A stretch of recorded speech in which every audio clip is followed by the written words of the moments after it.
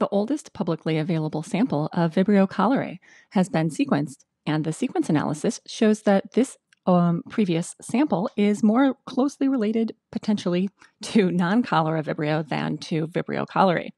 Welcome to Microbial Minutes, ASM's update on what's hot in the microbial sciences, century old cholera edition. I'm Julie Wolfe, and today we will be discussing a paper from the Proceedings of the Royal Society B, which reveals that a 100 year old cholera isolate offers insight into pathogen evolution. Now, Vibrio cholerae is well known for its ability to cause diarrheal disease, and the diarrhea that it causes is very voluminous and extremely watery. Uh, those are characteristics of cholera specifically.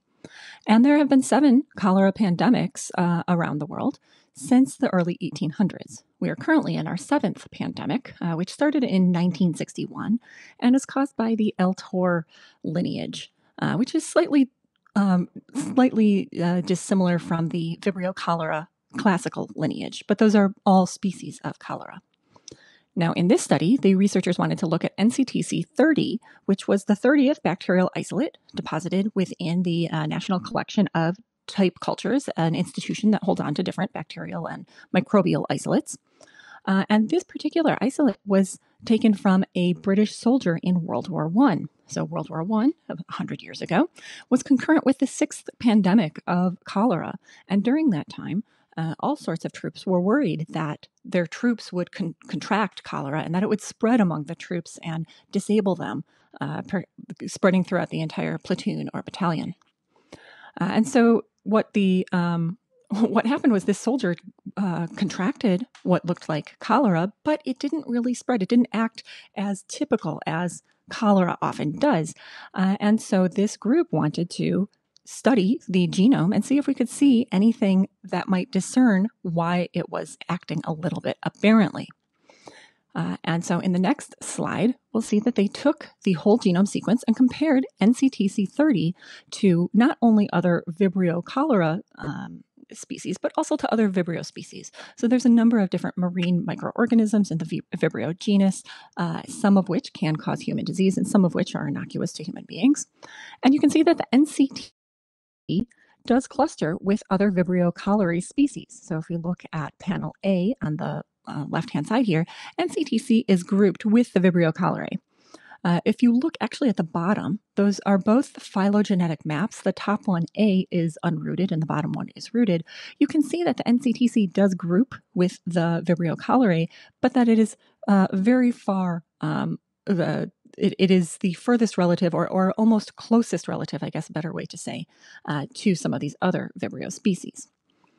Um, they saw that there was an inversion of a large part of the chromosome of uh, chromosome 1 um, and they then looked at the microbe itself. And when they looked at the microbe that they had revived from culture, uh, they saw that the bacterium had impaired flagella production, so it wasn't motile in the same way that Vibrio cholerae often is. Uh, they saw that it was resistant to beta lactams, uh, and the, that is shown at the very bottom there, looking at the MICs. Uh, the minimal inhibitory concentration of drug against E. coli, which is susceptible, and you can see a large ring, um, and the Vibrio cholera uh, NCTC 30, which grows to a much higher concentration. And that's of note because 1918, uh, when this strain was taken, was before I believe penicillin was discovered in the 20s uh, and wasn't really put into mass production until maybe World War II era, so so 40s uh, when it started to be used a little more commonly. So this is likely something that had evolved independent of human use of different um, beta lactams, which are the, the penicillin type of uh, antibiotics. They also noted that the NCTC lacks a phage, um, the cholera toxin phage, that normally encodes the cholera toxin genes uh, and confers that extreme wateriness to the diarrhea. However, they did see that there was a type 3 secretion system. This is an injectosome of sort that allows the bacteria to um, inject or secrete proteins directly into uh, a, a, another cell. Uh, and in this case, uh, they saw that the type 3 secretion system, the genes for this, were a little more close in sequence to not Vibrio cholera, but a related species called uh, Vibrio parahemolyticus. Those, plus the presence of other toxins, indicate that this isolate is a potential pathogen and can cause diarrhea in a patient. But would it actually look like cholera? Would it be choleric diarrhea, that, that voluminous sort? Uh, that is a little hard to tell without more medical records, but it may explain why this patient, this soldier, um, came down with what looked like cholera, but it didn't act in total um, as expected, completely as expected. So this was written up in several places. On the next slide, we'll see that, um, of course, because of its historical importance, it was written up in um, a place interested in history, the Smithsonian.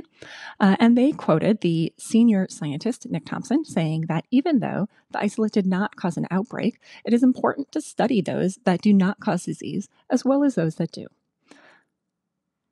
Hence, this isolate represents a significant uh, piece of history of cholera, a disease that remains important uh, as important today as it was in the past. This is also written up in a press release, which was picked up by phys.org, which quoted first author Matthew Dorman, saying that reports in the literature indicated that this was there was something unusual about the strain of bacteria from the World War I soldier.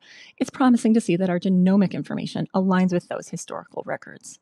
Uh, and finally, Julie Russell, who is the head of the culture collection at NCTC, uh, stated that studying these bacteria offers a window into the past and helps scientists to understand how bacteria evolve over time and the roles that they've played uh, in history. So, in summary, sequencing has shown that a 100 year old cholera isolate lacks some of the genes necessary to cause cholera, uh, although it could potentially still cause other types of diarrheal diseases. If you want to get more updates, go ahead and subscribe to uh, join us in future Microbial Minutes sessions. I'd like to thank you for listening and thank Ray Ortega for production. I'm Julie Wolf, and I'll be with you next time on Microbial Minutes.